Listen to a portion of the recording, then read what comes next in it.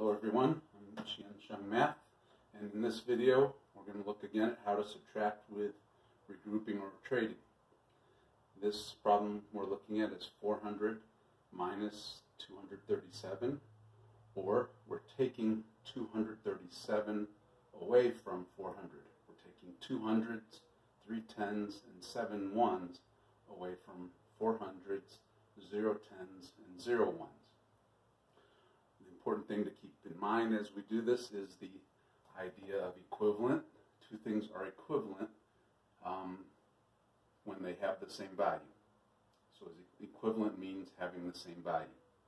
These 10 tens are equivalent to 100 because they have the same value. 10, 20, 30, 40, 50, 60, 70, 80, 90, 100. These 10 tens have the same value as this 100. And similarly here, these 10 ones have the same value as this 10. So we see 5 and 5 make 10. So these are equivalent, these are equivalent. So in this problem, if we don't have enough of something, we can keep in mind the idea of equivalent and we can trade a 100 for 10 tens or 10 tens for 100 and we can trade a 10 for 10 ones or 10 ones for a 10, depending on the situation. Okay, so let's begin.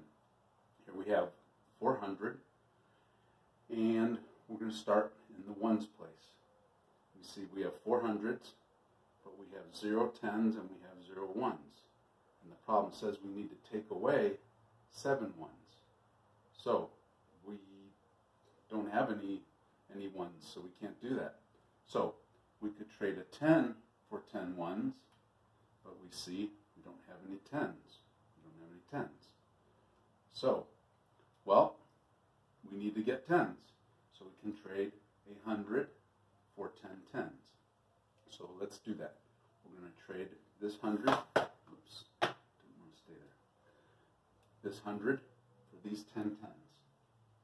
So they're equivalent, so I can replace this 100 with those 10 tens. So do that, and do it this way so you can see that there are 10 tens. So separate the groups a little bit, then you can easily see there are two groups of, of 5. So we see 5 tens, 5 tens, so we see 10 tens.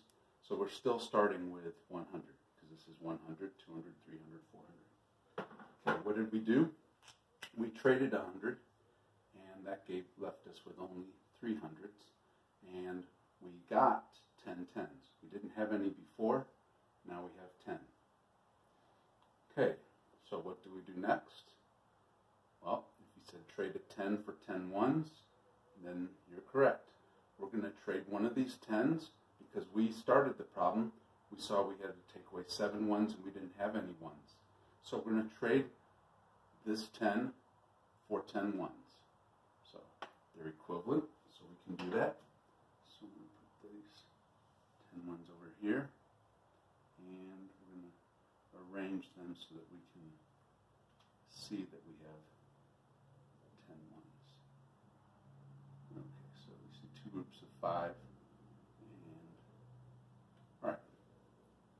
What did we do? Well, we had 10 tens and we traded one, so now we have 9 tens. And what did we get? Well, we got 10 tens for our 110. So had 0 before, now we have 10 ones. And I think we're ready to start the problem. We can take 7 ones away from 10 ones. So we'll take 7 away. So we'll take 5 away, 6, 7. All right, we see that we're left with three ones. Okay, can we do this? Yeah, we have nine tens. It says to take away three. So we take away three tens.